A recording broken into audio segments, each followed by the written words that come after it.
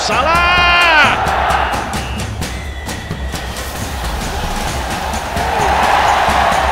Look at the ball! And a massive shot from the 17-year-old.